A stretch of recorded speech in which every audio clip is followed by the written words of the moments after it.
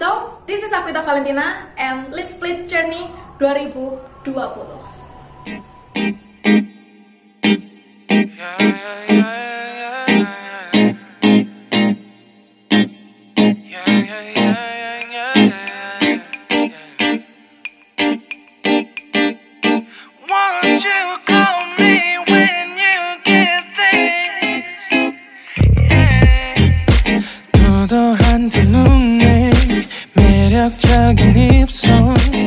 Nama aku Fawas, umurku 19 tahun.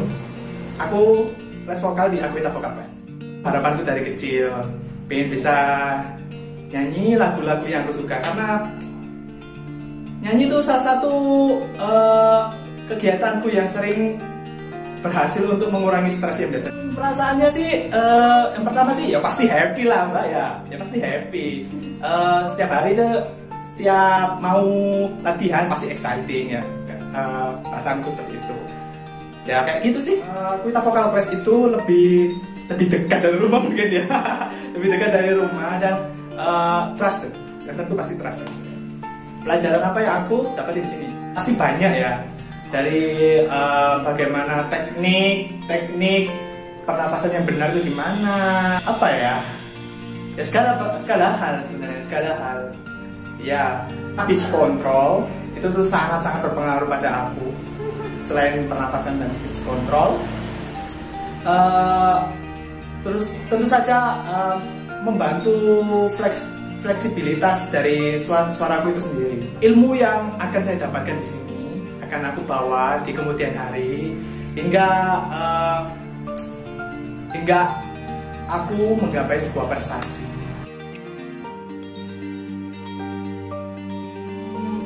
untuk jangka pendek ini aku akan ikut eh, paduan suara di universitasku. Hai, nama aku Faik. Umurku 11 tahun. Aku les vokal di Akuta Vokal Class. Tapi terbesarku itu dengan gugu aja. Biasanya gugup. Takut gurunya. Takut gurunya marah. Itu takutnya gurunya marah sama ya hmm, suka bentak gitu takutnya gitu menjadi pribadi kan eh, mbak sekarang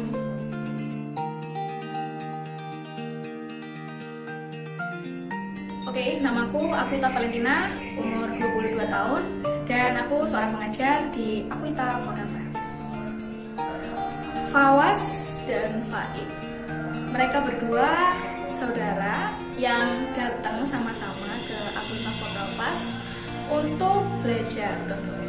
Dan ketika mereka datang, aku inget banget ada aura semangat yang terpancar dari mereka berdua. Aku nggak tahu kenapa, tapi kayaknya mereka orang yang semangat banget untuk belajar. Dan bener aja, saat proses pembelajaran berlangsung, mereka berdua adalah anak-anak yang cukup manis dan menyenangkan ketika belajar sama-sama. Kalau Faik, aku lihatnya sebagai gadis kecil yang pemalu, yang polos, yang masih hmm, kayak gitu-gitu.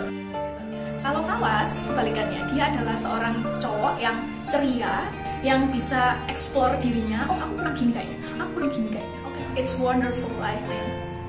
Dia tuh bisa langsung self reflection sendiri.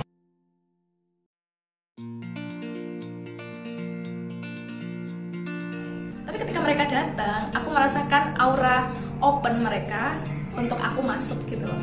Itu itu menyenangkan. Karena di usia-usia mereka ini biasanya ya, biasanya nggak semuanya.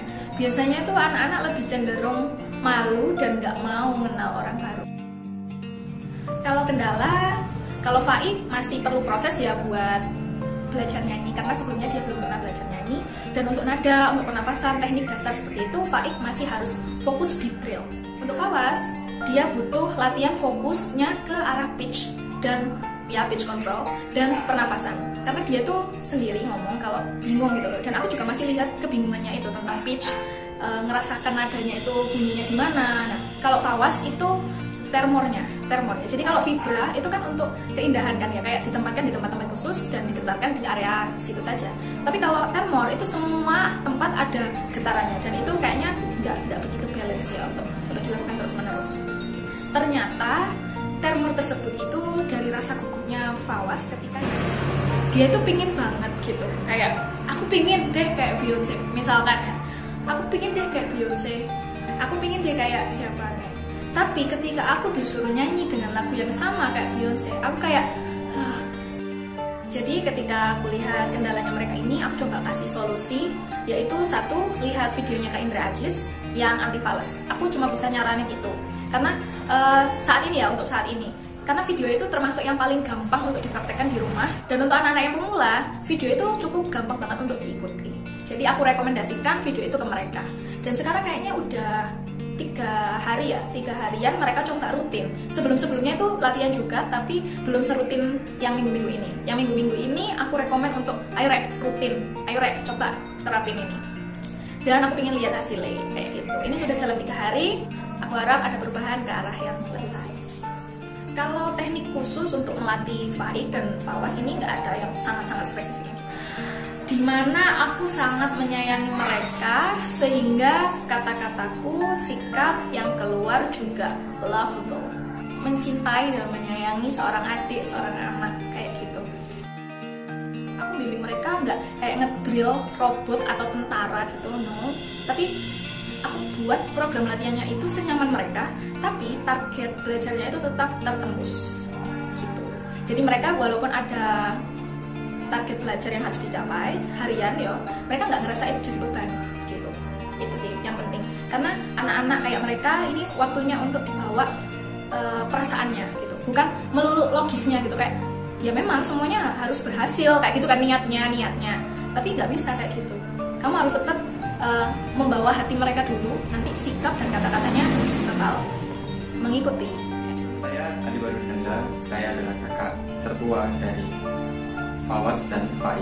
Umur saya 21 tahun. Saya sangat bangga sekali dengan mereka. Dikarenakan mereka punya keinginan dan cita-cita yang sangat tinggi. Uh, terutama adik-adikku yang yang paling tua, adikku yang paling tua itu, uh, dia punya keinginan yang benar-benar sangat di luar dugaan sekali. Apalagi untuk yang adikku yang paling kecil, itu kan basicnya belum ada itu. Tapi dia itu sangat menggebu-gebu sekali untuk belajar vokal ini. Oh, aku harap suatu saat nanti adik-adikku ini lebih sukses daripada aku so I can describe from, my feel apa ya aku ngerasa itu kayak antara aku itu senang suka karena mereka benar-benar mau latihan mau serius dan sisi kayak mereka ini lebih baik daripada aku gitu mereka punya keinginan yang lebih gitu. sedangkan aku ya segini-gini aja. Gitu. tapi aku bangga kok sama mereka. Mereka itu yang paling utama aja ya. Semoga mereka dapat mencerna kalimat ini dan dapat menerapkannya dalam hidup Gapailah apa yang kalian cari, raih itu, usahakan, serta wujudkan mimpi-mimpimu. Dan pesan, kesan dan pesanku untuk adik-adikku yang belajar di Akuita Vokal Class, aku harap mereka dapat menerapkan ilmunya eh, di jenjang yang lebih tinggi, meskipun mereka suatu saat nanti tidak berada di eh, jalur yang sekarang. Aku harap mereka itu masih mengingat apa yang eh, mereka pelajari selama di sini.